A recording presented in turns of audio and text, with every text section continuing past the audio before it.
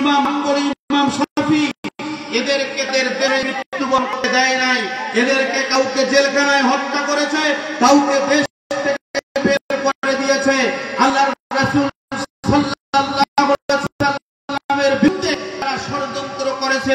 নবী মোহাম্মদকে গ্রেফতার করো তাহলে হত্যা করে ফেলো, তাহলে দেশের আলো একই গায়ে দেয় নবী রাসূলের উপরে এই জুলুম আর নির্যাতন চলছে কথা বলেন ঠিক না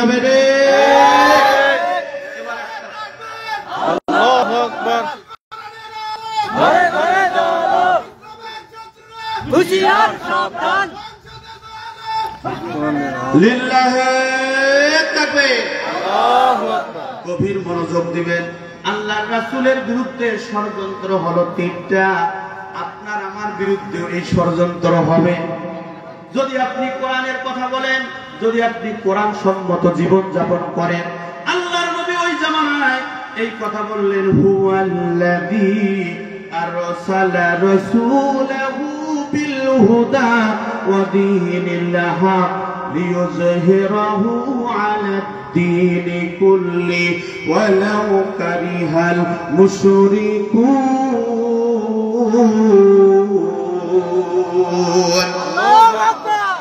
তুলে বলুন আল্লাহু আকবার।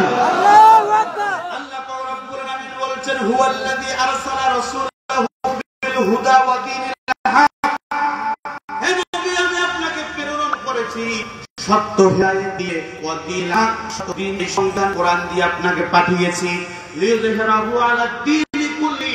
আপনি আপনি প্রতিষ্ঠিত করবেন আপনি কোরআনের আলো দিয়েবেন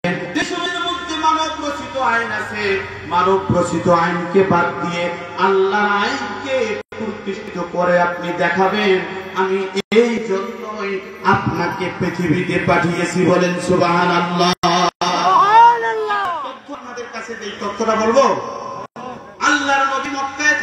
অবস্থায় উননব্বই থেকে বিরানব্বই হয়েছে। এই একখানে করলে কোরআন মাজিদের বিশ পারা হয় কয় পারা? জোরে বলেন কয় পারা? কিন্তু বিশ পার্সেন্ট মক্কায়।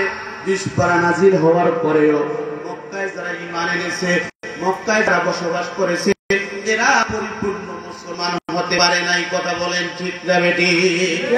যদি তারা পরিপূর্ণ মুসলমান হতো যদি তারা পরিপূর্ণ ইমানদার হতো, তাহলে আল্লাহর নবীকে মক্কা থেকে মদিনায় যাওয়ার লাগতো না, কথা বলেন ঠিক না বেটি? মক্কা থেকে বের করে দেওয়ার ষড়যন্ত্র করলাম। আল্লাহ রব্বুল আলামিন বলেন, ওয়া ইন কাদু লা ইয়াস্তাফিজুনাকা মিনাল আরদি লিয়ুখরিজুকা মিনহা, ওয়া ইযান লা ইয়ালবাসুনা খিলাফাকা ইল্লা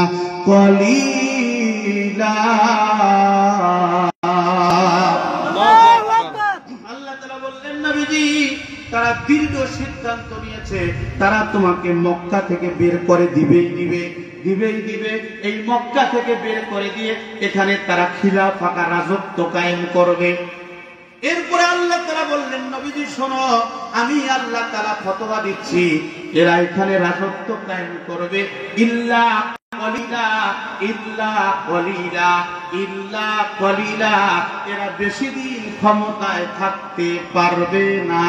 কার কথা? আল্লাহর কথা। জোরে বলেন কার কথা? ওই আল্লাহ এখনও আছে না নাই? ওই আল্লাহর শক্তি কি কমে গেছে? যারা আলেমদের উপরে জুলুম করেছে নির্যাতন করেছে আল্লাহর রাসূল ওয়ারাসাতুল আম্বিয়া।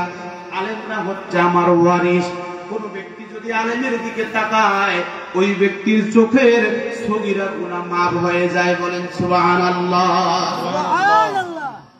মুসলমান ভাইরা আমার আল্লাহর নবী বলেছেন আমি চলে গেলাম মা তামাসসাকতুম বিহিমা। কিতাব আল্লাহ সুন্নাত রাসূলিল্লাহ।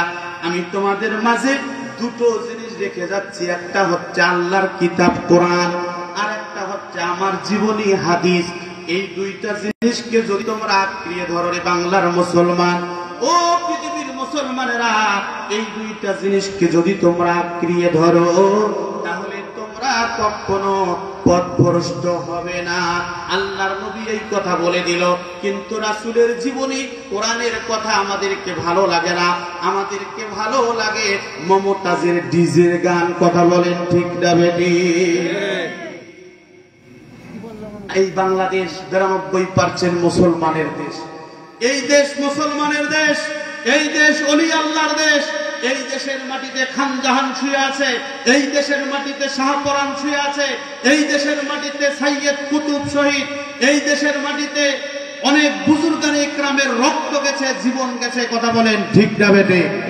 আমি তো কথাটা এইভাবে বলি এই বাংলা জমিন যে পরিমাণ সম্পদ পেয়েছে পৃথিবীর কোন জমিন এই পরিমাণ সম্পদ পায় নাই বলেন এই বাংলা জমিনের নিচে আছে স্বর্ণের খনি বলেন কিছুদিন আগে একটা গ্যাসের খনি বের হয়েছে। যেটা পৃথিবীতে এত দামি গ্যাস নাই বলেন বাংলার জমিনে আছে তেলের খনি এখানে আছে লবণের খনি এখানে আছে কয়লা খনি এখানে আছে লোহার খনি কি নাই এই দেশে? এই দেশের মানুষ একজন বিশ্ব নেতা পেয়েছে যেই নেতা এই দেশের স্বাধীনতার স্থপতি বঙ্গবন্ধু শেখ মুজিবুর রহমান বলেন ঠিক না বেটি? এই দেশের মানুষ একজন নেতা পেয়েছে জিয়াউর রহমান যিনি বাংলার জমিনে ইসলামী রাজনীতি হালাল ঘোষণা করেছেন বলেন সুবহানাল্লাহ। এই বাংলার জমিনের মানুষ এরশাদ সাহেবকে পেয়েছে যিনি শুক্রবারের দিন অফিস আদালত বন্ধ রাখতে হবে এটা এরশাদ কথা করেছেন। সুবহানাল্লাহ বলবেন না? এই দেশের মানুষ নিজামীকে পেয়েছে এই দেশের মানুষ সাইদিকে পেয়েছে এই দেশের মানুষ আজহারিকে পেয়েছে যার হাতে হাজার হাজার বেধর্মী মুসলমান হয়েছে কথা বলেন ঠিক না বেদি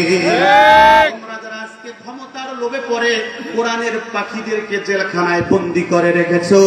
ইতিহাসের কলমে লেখা থাকবে আজ হোক কাল হোক আমাদের জীবনের বিনিময়ে হোক আমাদের রক্তের বিনিময়ে হোক। এই বাংলার জমিনে ইসলামী হুকুমত কায়েম হবে তোমাদেরও বিচার আল্লাহর কাঠ করায় হবে। তোমরা পালাবার রাস্তা খুঁজে পাবা না কথা বলেন ঠিক না বেটি? আবদুর রহমান। নাম দিয়ে কি হয় রে কাম? হায়রে আবদুর রহমান, তোমার কাছে করবে কত ছান?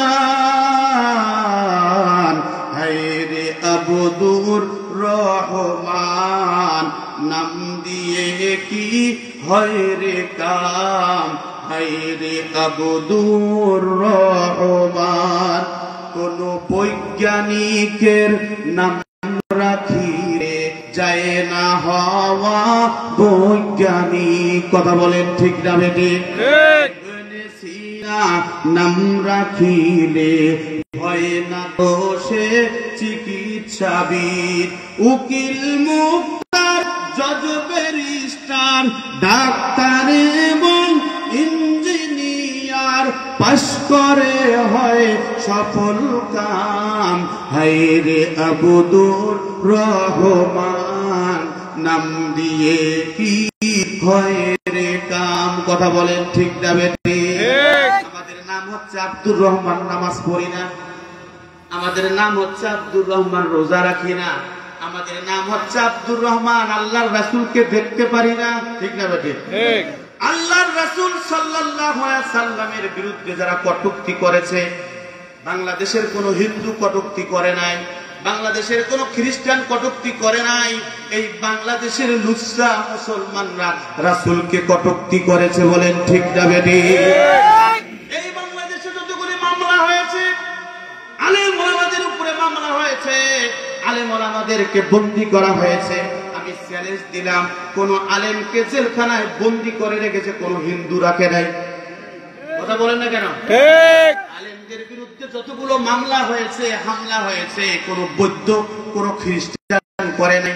এই নামটা হচ্ছে আব্দুর রহমান রায় আলেমদের বিরুদ্ধে মামলা করেছে। কথা বলেন ঠিক না বেটি? আমার আমি আপনাদের সন্তান আপনাদের ভাই। আপনাদেরকে অনুরোধ করে যাই, এই কোরআন হাদিসের কথা বলতে যে ইমাম আবু হানিফা তার জেলখানায় মৃত্যু হয়েছে। ইমাম বুখারী তার দেশে বিদায় হয় নাই, বিদেশে তার মৃত্যু হয়েছে।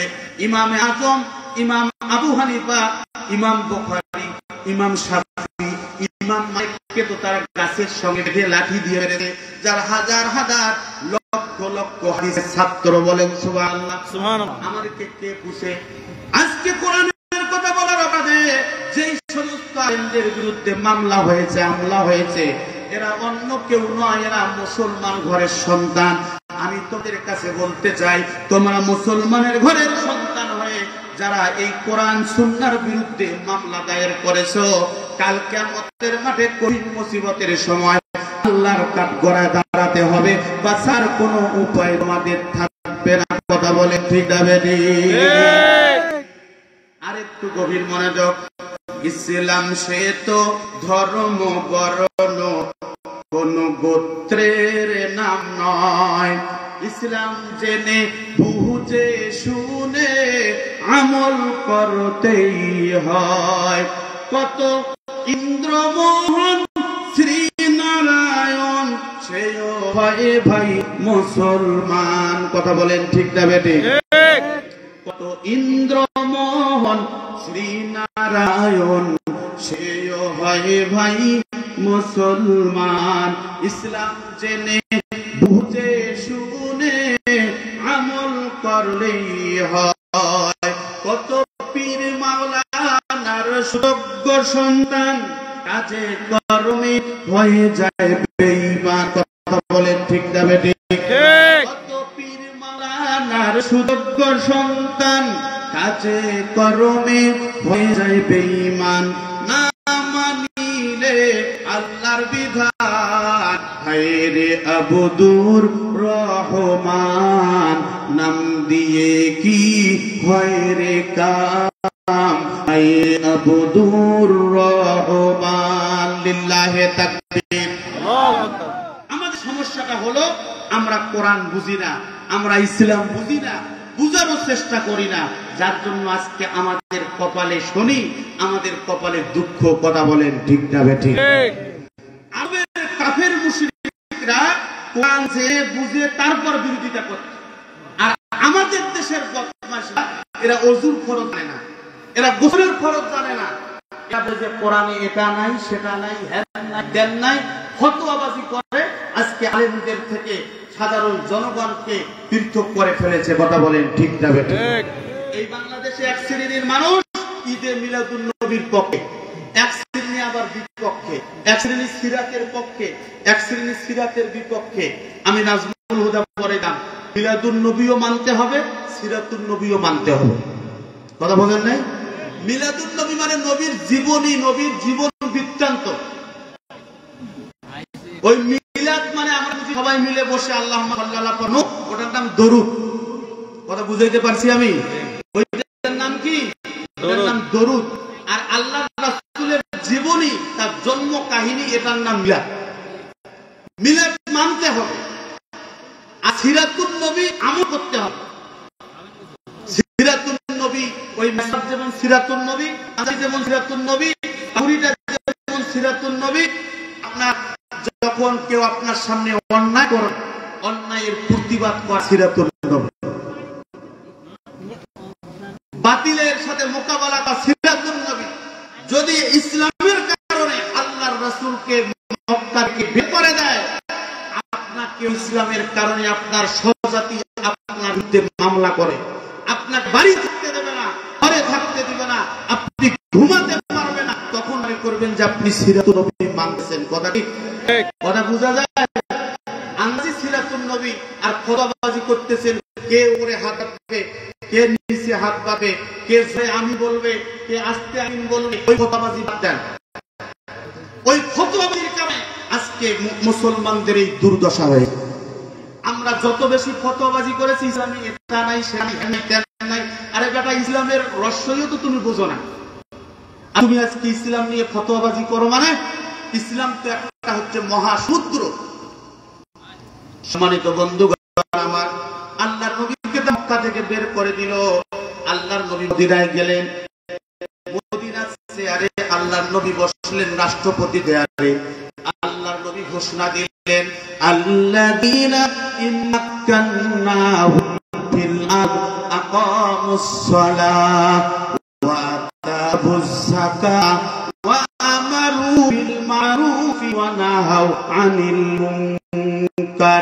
এক নম্বর কর্মসূচি হচ্ছে এখানে কেউ বেরামজি থাকতে পারবে না। মদিনায় যারা রাসূলকে নেতা হিসাবে নিয়েছে, এরা সবাই নামাজি ছিল। আল্লাহ রাসূল কোন ঘোষণা দিল? তোমরা নামাজি হয়ে দাও নামাজি হয়ে দাও তোমরা নামাজি হয়ে দাও কেউ আর বেনামাজি ছিল না। আমরা যারা বেনামাজি থেকে রাসূলের সিরাতকে মানি বলতেছি, কিন্তু আমি বেনামাজি আপনি কমপ্লিট মুসলমান না। কথা বোঝা গেছে?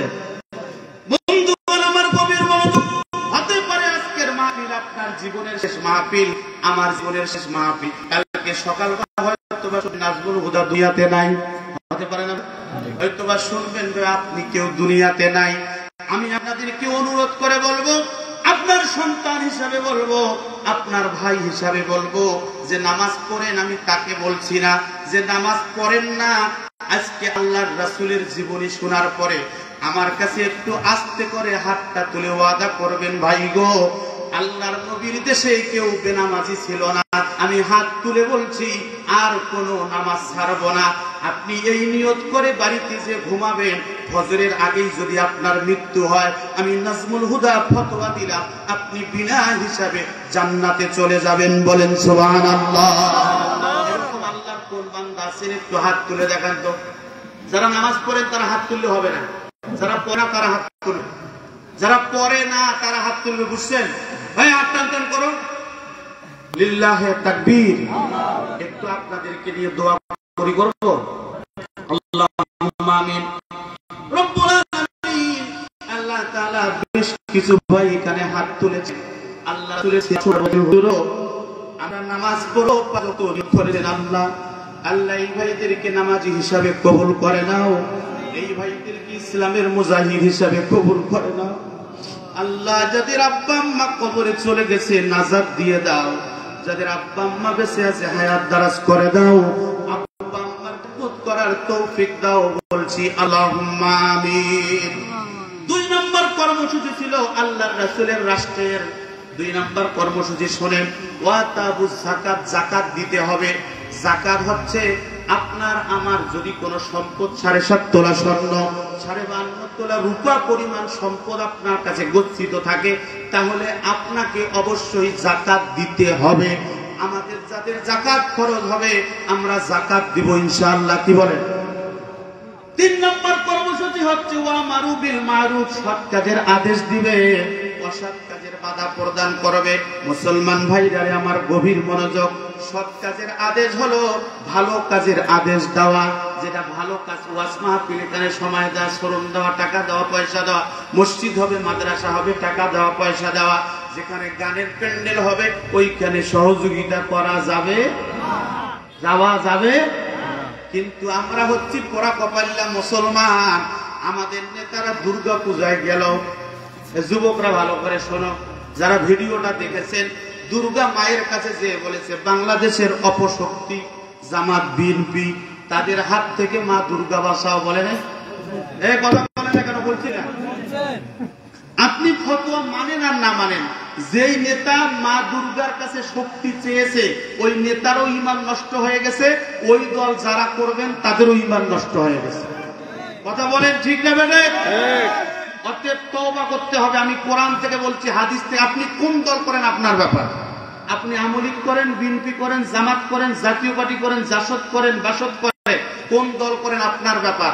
আপনার নেতা যদি মা দুর্গার কাছে যে বলে, অপশক্তির হাত থেকে আমাকে বাঁচাও আপনি ওই দল করবেন, পঁচাত্তর হাজার বার হস করবেন।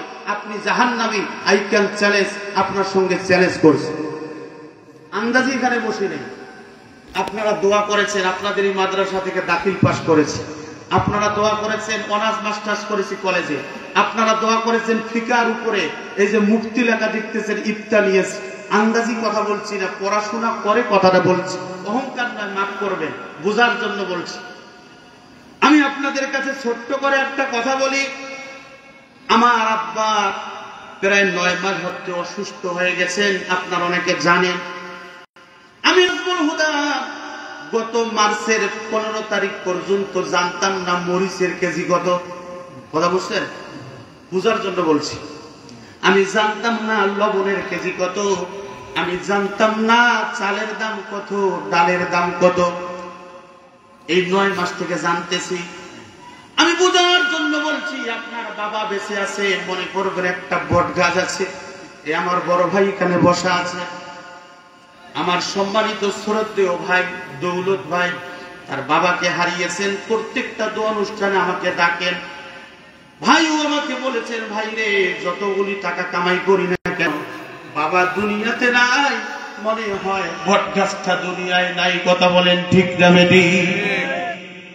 বাবা মা বেঁচে থাকতে আপনি বুঝবেন না, সুস্থ থাকতে বুঝবেন না, অসুস্থ হয়ে গেলে বুঝবেন। এই ওয়া আমারুফ বিল মারুফ, ভালো কাজের আদেশ। পিতামাতার খেদমত করা। পিতামাতা বেছে নাই। রাসুল বলেছেন, তোমার মা নাই। মায়ের সমতুল্য যারা, তার সেবা করবে। তোমার বাবা নাই। তোমার বাবার বন্ধু যদি বেঁচে থাকে, সেই বন্ধুর খেদমত করবে। চাচার খেদমত করবে।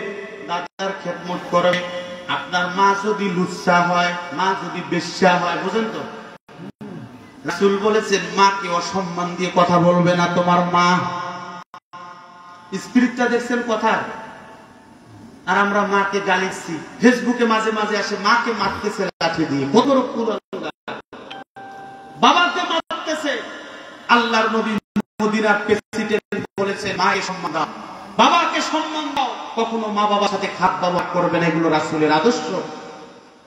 আজকের এই সন্তান আলেমদের সাথে বেয়াদবি করে আপনি খবর নিয়ে দেখবেন ওই সন্তানের জন্মের সমস্যা আছে। ও পিতামাতার সাথে ভালো ব্যবহার করে না। আমার দেশের কিছু পাতি নেতা, আমার ইউনিয়নের কিছু পাতি নেতা বলেছে, নাজমুল হুদার ওয়াজ কুন্দু পুকুরে চলবে না? আমি বলেছি, বেটা, নাজমুল হুদার ওয়াজ কুন্দু পুকুরে চলবে না? গোটা দেশে চলবে। গোটা দেশটা তো তোর বাপের দেশ নয়। বলেন, ঠিক না বেটি? আমি বলছি যে কুন্দু পুকুরে তোমার ক্ষমতা নাই চার বছর নাই পাঁচ বছর। সমস্যাটা কোথায়? পাঁচ বছর ওয়াজ না করলাম কুন্দু পুকুরে। কিন্তু গোটা দেশে ওয়াজ করব কেউ ঠেকাতে পারবে না। এটা আপনার দোয়া। কথা বলেন ঠিক না বেটে? ঠিক। আপনারা আমাকে কাপড় দিয়েছেন আপনারা খানা দিয়েছেন আপনাদের আপনারা জায়গা দিয়েছেন আপনাদের বাড়িতে থেকে পড়াশোনা করেছি। আপনারা আমার অভিভাবক। আমি আপনাদের কাছে বলতে চাই আলেমদেরকে নিয়ে যারা ষড়যন্ত্র করে এরা টিকে থাকে না বেশি দিন এটা আল্লাহ ওয়াদা করেছে। এরা ধ্বংস হবে আর আলেম সমাজের সম্মান বাড়তেই থাকবে বলে।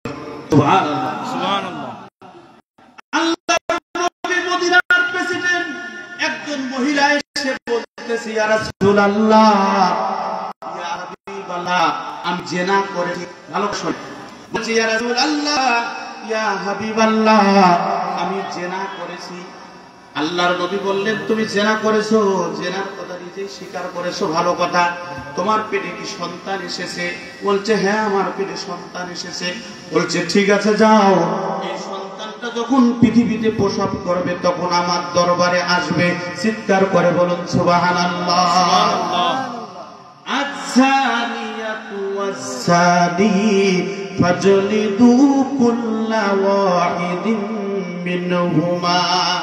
যদি কোনো জেনাকার জেনাকার ই ধরা পড়ে বিয়েদারি হলে কোমর পর্যন্ত পুঁতে রেখে পাথর দিয়ে তাকে শেষ করে ফেলতে হবে। অবেদারি হলে তাকে দোররা মারতে হবে বিধান কার? আরও জোরে বিধান কার? ওই বিধান কি বাংলাদেশে আছে? ওই বিধান তারা কায়েম করতে চায় তারা বাড়িতে ভাত খাইতে পারে না। কি বলেন আপনারা? ওই বিধান যারা কায়েম করতে চায় তারা বাড়িতে ঘুমাতে পারে না। ওই বিধান যারা কায়েম করতে চায় তাদেরকে জেলখানার ভাত খাইতে হয় বলেন ঠিক যাবে ঠিক। আজকের একটা লেটেস্ট নিউজ আপনাদের কাছে দিব দিব? কথা বলেন দিব? প্রায় তেত্রিশ দিন পর আল্লামা সাইদের সন্তানরা তাকে দেখতে গেছে। তেত্রিশ দিন পর যখন দেখতে গেছে ছেলে বলতেছে ফেসবুকে আপনারা পাবেন। ছেলে বলতেছে, আজকে বাবার চেহারাটা দেখলাম একটু হাস্যজল চেহারা। বাবাকে বললাম, বাবা, আপনি কেমন আছেন? বলছে, আলহামদুলিল্লাহ, ভালো আছি। এরপরে বলছে, বাবা, শরীরটা কেমন আছে? বলছে, বাবা রে, আমার চুরাশি বছর বয়স। ভালো করে শোনে আমার চুরাশি বছর বয়স। আমি ডায়াবেটিস রুগী। আমার হাটের মধ্যে পাঁচটা রিং বসা। আমার হাঁটুতে ব্যথা। আমার পায়ে ব্যথা। আমি চলতে পারি না আমি দাঁড়িয়ে নামাজ পড়তে পারি না। এখন যদি আমার চিকিৎসা দেওয়া হতো তাহলে হয়তো আমি দাঁড়িয়ে নামাজ পড়তে পারতাম। বিনা চিকিৎসায় চোদ্দটা বছর জেলখানায় কাটিয়ে দিলাম। তারপরেও আমি বলতে চাই তুমি দেশবাসীর কাছে আমার সালাম দিবা।